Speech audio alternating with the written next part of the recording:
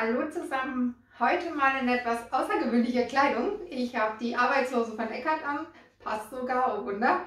Ja, und zwar möchte ich mich heute ein bisschen handwerklich betätigen, ähm, handwerklich kreativ, auch wenn ich das eigentlich gar nicht so gut kann, bin da eher ungeschickt.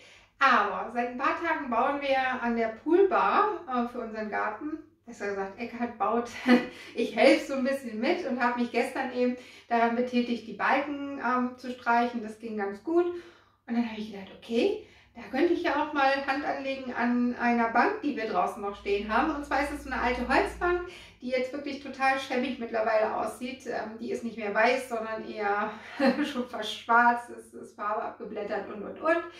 Ähm, da habe ich gedacht, ähm, mache ich die doch mal so ein bisschen in so einem Karibik-Style. Äh, habe mich da inspirieren lassen von, einem, äh, von einer Reise 2018, wo wir mit in Nassau waren. Da sind alles so tolle bunte Häuschen, die dann in, äh, zum Beispiel in Gelb sind, wo dann eben auch was mit Grün oder Türkis abgesetzt ist. Ähm, teilweise Pastell, teilweise aber auch ein bisschen kräftiger. Und da habe ich gedacht, okay, da könnte ich doch mal ein bisschen was mit der Bank machen, damit die dann irgendwo ähm, sich mit der Poolbar sehr schön ergänzt, die ja dann auch im karibischen Stil sein soll. Ja, und ähm, hoffen wir, dass das Ergebnis dann am Ende auch passt. Ich nehme euch jetzt erstmal mit nach draußen, zeige euch, wie die Bank jetzt aussieht und dann ähm, verfolgt ihr das Ganze, wie dann aus der momentan noch sehr schäbigen Bank hoffentlich etwas wird, was wir dann auch da stehen lassen möchten.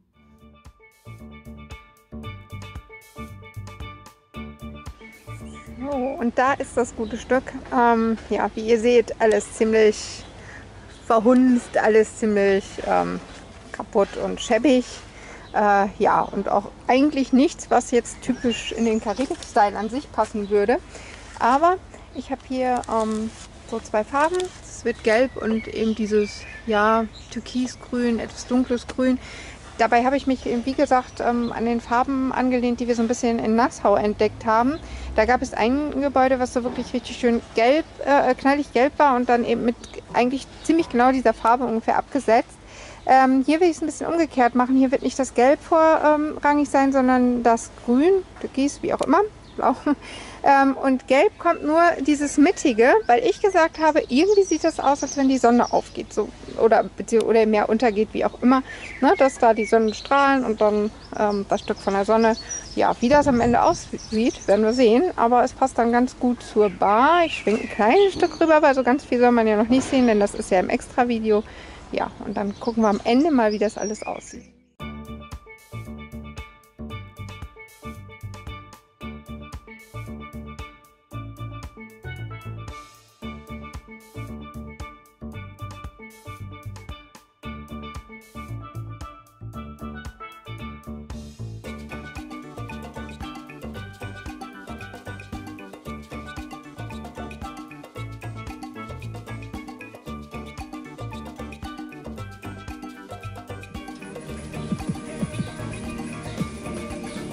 Scheiße. Es geht hier zwischen nicht richtig. Ich frage mich, wie Leute, die begabt dafür sind, das vernünftig dazwischen kriegen. Ich habe schon mit einem dünnen Pinsel versucht, das wird aber irgendwie auch nicht so, wie ich das haben will. Gekleckert habe ich gerade leider auch schon wieder. Alles doof. Ich bin da einfach nicht mehr gemacht, aber wenigstens hat sie ja ein bisschen Farbe. Gucken wir mal, wie das am Ende so. aussieht. Nee, Zwischenräume, irgendwie bin ich dafür nicht geduldig genug. Das wird bei mir nichts. Ich habe damit schon einen Pinsel ruiniert. Ich bin einfach handwerklich unbegabt. Jetzt lasse ich das ähm, Eckart machen. Und ich habe leider auch schon wieder auf meine schöne Sonne gerade geschmiert. Ja, da. Ja, da muss ich dann gucken, ob ich das wieder wegkriege und wie das dann wirkt. Ich habe ja Bedenken, dass sich dieses Grün mit dem Gelb dann komisch mischt, wenn ich darüber gehe. Mein Mann sagt, nee, passiert nicht. Ich gucke mal, wer nachher recht hat. Passiert nicht. Du mischt keine nassen Farben. Ja, trotzdem. Ich schaue nachher mal.